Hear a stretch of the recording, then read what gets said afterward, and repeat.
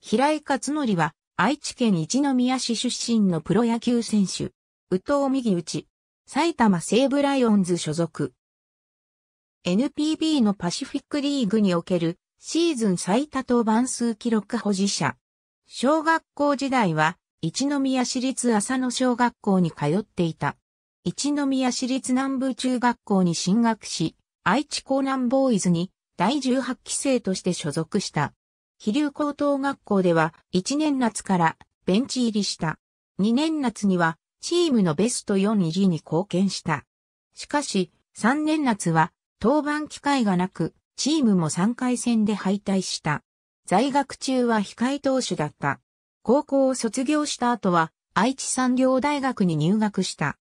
3年春には当時2部リーグだったチームのリーグ優勝に貢献し、さらに一部6位だった愛知工業大学を倒して一部昇格を果たし、一部リーグでは2シーズンで計2勝を挙げた。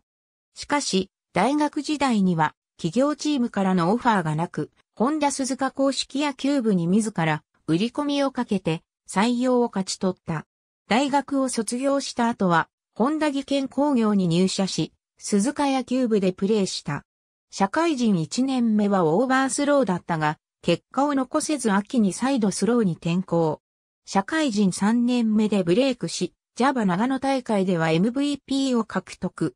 都市対抗野球でも2勝を挙げ、チームのベスト8入りに貢献した。また、日本選手権ではエースとして投げ、1回戦の新日鉄住金広畑戦では9回途中、無失点の好投で勝利投手になったが、2回戦の酒一使用する大阪ガスとの試合に負け、チームは敗退した。2016年ドラフト会議で埼玉西武ライオンズから5位指名を受けて契約した。背番号は25。2017年は5月後半に1軍、登録されると5月25日の東北楽天ゴールデンイーグルス戦でデビュー。主に先発が早期降板した時、または接戦時のショートリリーフを任された。一軍登録されてからは一回も二軍に落ちることなく42試合に登板、プロ初勝利も記録した。オフの10月12日に第1回アジアプロ野球チャンピオンシップの日本代表に選出された。2018年はリリーフとして64試合に登板し、3勝1敗21ホールドを上げ、10年ぶりのリーグ優勝に貢献した。2019年はクローザーの増田達氏につなぐセットアッパーの役割を担い、チームのリーグ連覇を支えた。前年以上のハイペースで登板し9月20日、ついにパリーグ記録タイとなる78登板を達成。これにて、神様、フッツ様、稲尾様と崇められた稲尾和久の記録と並んだ。9月24日、千葉ロッテマリーンズ戦で単独2位となるシーズン81試合登板を記録。この試合でチームは21年ぶりとなる連覇を達成した。その他にも36ホールド、41ホールドポイントという好成績を収めている。2020年は6月の開幕を1軍で迎えるも7月中旬から失点が目立つようになり、セットアッパーの座を平良海馬に譲る。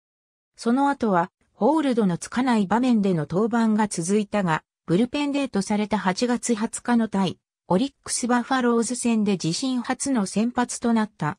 5回に安打無失点でマウンドを降り、先発として勝利投手となった。この高騰をきっかけに先発、中継ぎと起用法が流動的となり、先発登板4試合、救援登板37試合、5勝5敗7ホールド、防御率4.18という成績でシーズンを終えた。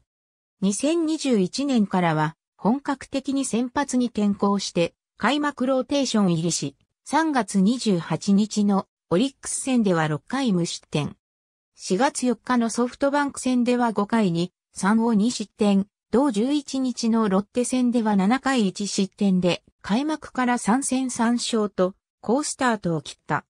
しかし、その後は6試合が違がなく、その期間は2敗、防御率6.98と不振であり、5月31日に登録を抹消された。2軍調整を経て6月30日のソフトバンク戦で1軍復帰するも4回7失点で敗戦投手。その後は日程の都合もあり、リリーフで3試合に登板し、前半戦を終えると、エキシビションマッチでも中継ぎ起用が続き、西口文也投手コーチから配置転換が明言された。スリークォーターに近いサイドスローで投げる。スライダーだけは磨き続けてきたと、握りを試行錯誤しながら、切れ味を増していったスライダーを軸に、安定感のある投球を見せる。直球は時速 148km をマークしている。その他の球種として、カットボールやシュートがあり、2019年シーズンからは、フォークを投じるようになったほか、稀にチェンジアップも投じている。高校時代も社会人時代も野球で泣いたことがなかった。